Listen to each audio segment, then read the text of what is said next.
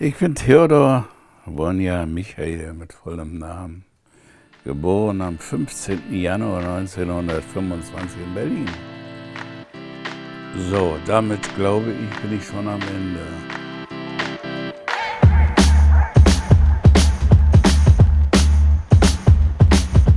Ich bin Jermaine Raffington. In meiner Jugend wurde ich oft damit konfrontiert, dass mir Leute abgesprochen haben, deutsch zu sein, nur aufgrund meiner Hautfarbe. Das hat mich neugierig gemacht und ich bin auf eine Reise gegangen, um herauszufinden, warum diese Denkweise in vielen Teilen der Gesellschaft noch immer besteht. Ich habe schwarze Deutsche getroffen, mich mit ihnen über ihr Leben in Deutschland unterhalten und erfahren, was deutsche Identität für sie bedeutet. In Köln treffe ich NS-Zeit-Überlebenden Theodor Wonja Michael, der mir als erstes erzählt, was es mit dem Bild seiner Eltern auf seiner Biografie auf sich hat. Sie waren auf dem Standesamt. Vor allen Dingen, herrlich, man muss sich das mal vorstellen. Es ist das Bild eines gutbürgerlichen Ehepaars. Nicht? Nur, äh, dass der Mann schwarz ist. Nicht?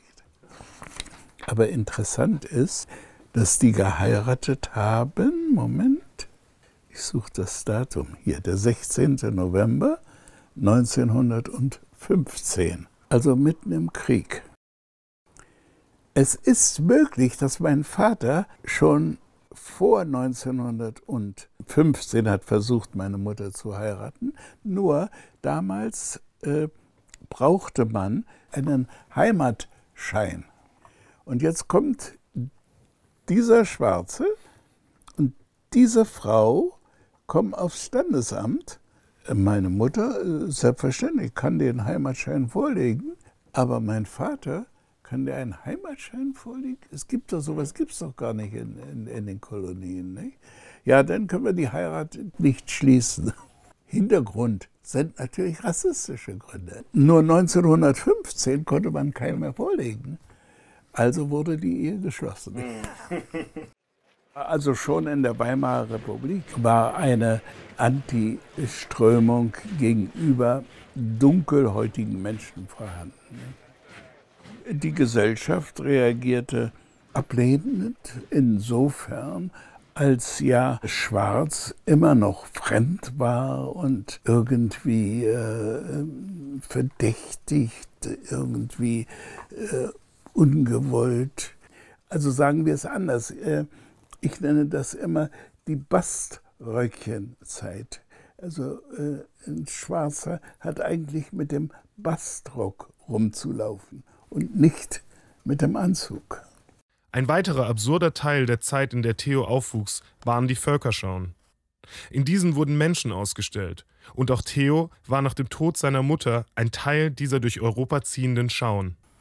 Sind Sie da auch im Bild? Ja. Ah, ja. Oder? Na, schätzen Sie mal. Na, wahrscheinlich hier. Ja. Ja? Es gibt ja Bilder über die Völkerschau und äh, wurden äh, Hütten aufgebaut, die afrikanisch sein sollten und dann lief man in exotischen Kleidern herum. Man spielte Afrika. Gab es schwarze Personen, die, zu denen Sie aufgeschaut haben? Ja, das war Jesse Owens. Ja, ich konnte sehr gut laufen und äh, wollte eigentlich so sein wie er. Nicht? Und er war so ein Vorbild für mich. Ich habe ihn ja laufen sehen in Berlin. Nicht? Ich konnte mit meiner Schulklasse ins Stadion gehen, ins Olympiastadion, und sah ihn laufen. Ich weiß nicht mehr welches war, ob es der 100 Meter Vorlauf war oder weiß ich nicht mehr. Bloß er lief hervorragend und war für mich eben ein Beispiel dafür, ähm, was schwarze Menschen können.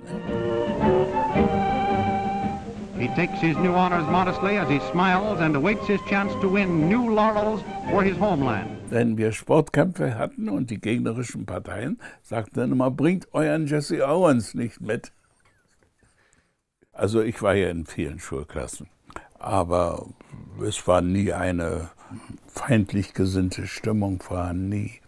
Sie veränderte sich allerdings, als die Nazis an der Macht waren und man nicht das Gleiche machte, das alle anderen machten, nämlich in das Jungvolk der Hitlerjugend zu gehen. Nicht? Da wurde ich ja verwiesen. Übrigens äh, spielt das eine, eine große Rolle für mich, dass ich damals ausgeschmissen wurde, das hat nämlich dazu geführt, dass ich nicht in die Hitlerjugend gegangen bin.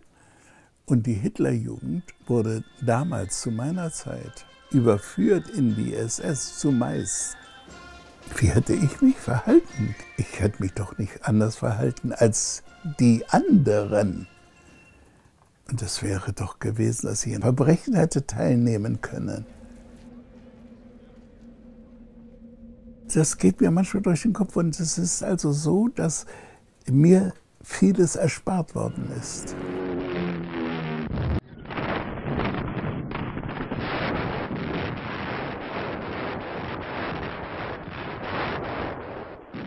Der Stalingrad-Katastrophe wurde ja der totale Krieg erklärt und äh, äh, alles, was noch äh, laufen konnte, wurde eingezogen und ich wurde gemustert und fiel erneut durch das Sieb. Man konnte sich äh, keinen Soldaten vorstellen, der so aussieht wie ich. Und dadurch musste ich in Rüstungsbetrieb und äh, kam dann ins Fremdarbeiterlager, nicht? Also theoretisch könnte man flüchten da. Bloß, wohin flüchtet man? Und wenn man aufgegriffen wird, kommt man ins KZ. Und wo flüchtet man mit so einem Gesicht hin? Theo zeigt mir seinen Fremdenpass. Ein bizarres Dokument aus seiner Jugend. Während ich diesen in den Händen halte, wird mir bewusst, wie absurd ein Aufwachsen im Regime der Nazis für ihn gewesen sein muss. Gestalt klein. ich war klein. Gesicht rund. ich war klein und mickrig. Selbst in der Zeit, äh, als sie als Fremdarbeiter musste ich eine Aufenthaltsgenehmigung haben. Wirklich? also äh, bei den Nazis, das ist ja dieses, äh, die sind sowas von verworren ja, in ihrer Gesetzgebung und in ihren Ansichten. Ja. Deshalb sind ja die, die heutigen Nazis noch immer so beklopft. Ne? Es ist eine Ironie der Geschichte, dass es letztendlich Theos Hautfarbe war, die ihn vor Schlimmerem im Zweiten Weltkrieg bewahrte. Trotz seiner minderwertigen Rollen in diversen Nazi-Propagandafilmen, unter anderem in dem Film Graf von Münchhausen, entwickelte er die Liebe zum Schauspiel, die ihn schließlich auf die Bühnen der deutschen Theater führte. Außerdem stand er im Dienst des Bundesnachrichtendienstes, war Journalist und politischer Berater. Ja, Mach eine Pause? Pause? Was ist denn das? Kannst du noch? Ja, noch kann ich. Durch unser Gespräch wurde mir klar, dass Theo trotz der widrigen Umstände in seinem Leben eine Person ist, dessen Charme, Humor und Intellekt mich zutiefst beeindruckte. Rassismus in Deutschland. Was muss Ihrer Meinung nach passieren? Das Bild in den Köpfen der Deutschen, in Deutschland allgemein muss man wahrhaben, dass äh, Deutschland ein äh, Zusammenschluss vieler, vieler Menschen ist und kein Volk in dem Sinne dieser völkische Gedanke dominiert noch immer in Deutschland. Nicht? Deutsch versteht man immer als Volk und Deutschsein ist kein Volk. Wenn man nach, aus Friesland nach Oberbayern kommt, kommt man in ein fremdes Land und man versteht die Sprache nicht. Die Angst vor dem Fremden war immer da. Sie ist ja bis heute da. Es ist ja gar nicht weg ist ja immer noch vorhanden. Du bist nicht anders, du wirst anders gesehen. Das ist nämlich der Unterschied. Das ist ja die, dies Gefährliche daran, nicht? dass man selber dann sich so betrachtet, wie die anderen einen betrachten. Und es gibt keinen dunkelhäutigen Menschen, der da ohne Verwundungen und Narben davonkommt. Deutsch und Schwarz, schließt sich das aus? Nein. kann sich gar nicht ausschließen. Deutsch und Schwarz war schon, als es deutsche Kolonien gab. Von da ab war Deutsch auch in Afrika. Und Deutsch sein, Schwarz sein ist klar. Ich sehe schwarz aus. Ja, aber was steckt unter dieser Haut? Das ist doch die Sache. Und äh, äh, Hautfarbe ist doch eine rein äußerliche Geschichte. Ich bin Theodor Wonja Michael. Ich bin Afrodeutsch.